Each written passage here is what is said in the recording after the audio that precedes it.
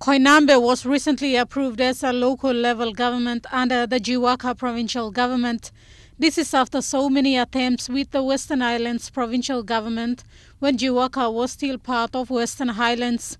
To announce the construction of the new council chamber, Jiwaka Governor Dr. William Tongap and Provincial Administrator Michael Wandil visited Koinambe in Lower Jimi.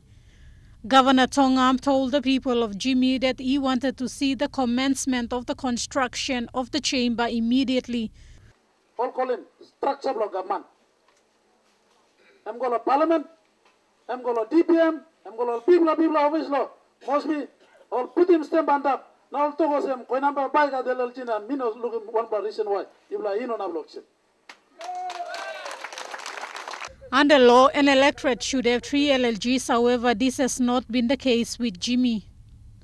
The government recently approved the submission for Koinambe LLG.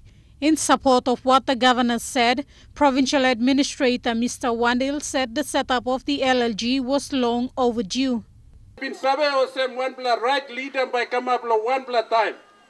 Na lo nis la time em ko nambe LLG em true true by come up.